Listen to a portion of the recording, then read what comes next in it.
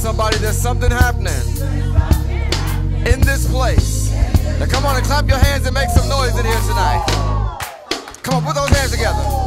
Come on, choir.